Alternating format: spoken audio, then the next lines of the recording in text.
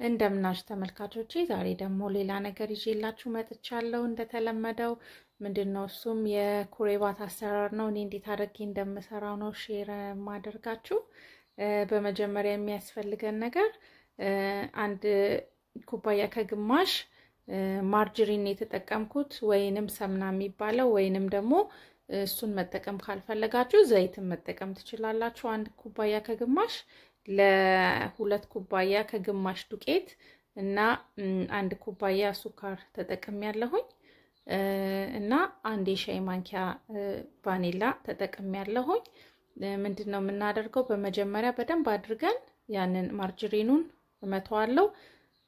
እንደዚህ እንደምታዩት በደንብ ከለሩን እስከሚቀይር ድረስ ከዛ ሱካሬን አደርግና አብረን ደግሞ ከሱካሩ ጋር በደንብ እንመተዋለን። ዘይት የምታደርጉ በዘይት የምትጠቀሙ ከሆነ ደግሞ ዘይቱንና ሱካሩን አንድ ላይ ያው መምታት አለብን። ዘይቱን ግን በመጀመሪያ ለብ ማድረግ አለብን። ከዛ ሲበርድ እንደዛ አድርገን በደንብ እናደባልቀዋለን። በጣም ቆንጆ የሆነ ፍርፍር ያለ ኩሬባት ለማግኘት ማለት ነው። ያው እዚህ ጋር በደንብ አድርጌ ክሬሙን ከሰራሁኝ በኋላ ከዛ ምንድን ነው የማደርገው ዱቄቱን ነው የምከተው ትንሽ ትንሽ እያደረግኩኝ ከዛ ቫኔላ አደርጋለሁ። ቫኔላ መጠቀም ማትፈልጉ ከሆነ ደግሞ የተፈጨ ሄል ማድረግ ትችላላችሁ። እኔ ሄል የማልጠቀመው ትንሽ color ኡን ቀየር ያደርገዋል፣ ወደ ካህኬ መምሰል ባህሪ ያመጣል ሄል ጨምሬ ስሰራው። ስለዚህ እኔ ደግሞ ኩሬባት ነጣ ሲል ነው ደስ የሚለኝ።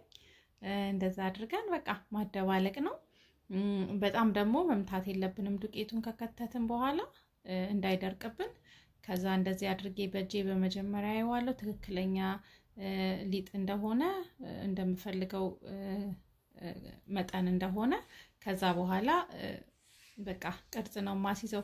በጣም ድርቅ ካለብን ትንሽ margarine ኡንም ሆነ ወይንም ሰምናውን ወይንም ዘይቱን የተጠቀምነውን ነገር መጨመር እንችላለን። ምንም አይሆንም። ያው በቻልኩት መጠን ሁሉንም እኩል size ለማድረግ እሞክራለሁ ሳድቦለቡል።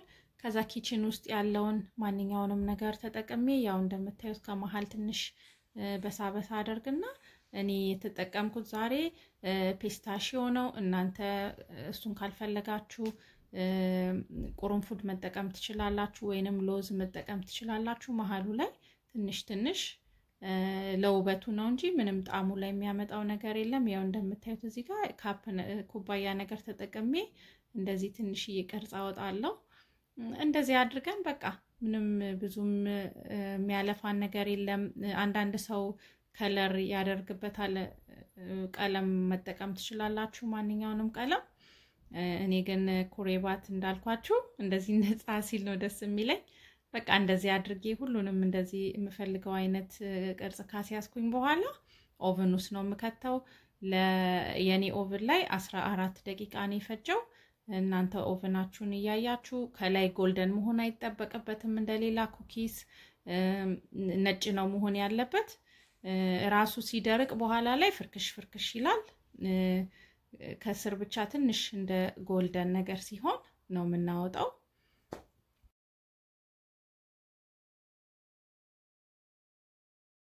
ይኸው እንደምታዩት በዚህ መልኩ ሆኖ ወጥቷል። በጣም ይጣፍጥ ነበረ። በጣም ቆንጆ ነው። እንደምትወዱት ተስፋ አደርጋለሁ። እናንተ ሞክሩት። እንደምታዩት ነጭ ነው ከላይ ቂጡ ላይ ብቻ ትንሽ እንደ እንደዚህ ትንሽዬ ከለሩን ቀየር ሲያደርግ አውጥቼዋለሁ።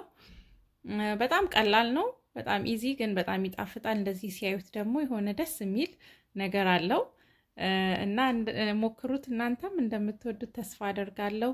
ከወደዳችሁት ደግሞ like ብታደርጉ፣ subscribe ያላደረጋችሁ subscribe ብታደርጉ፣ ከቻላችሁ ደግሞ share ብታደርጉልኝ በጣም ደስ ይለኛል። ስለተመለከታችሁኝ፣ ስለተከታተላችሁኝ ከልብ ያመሰግናለሁ።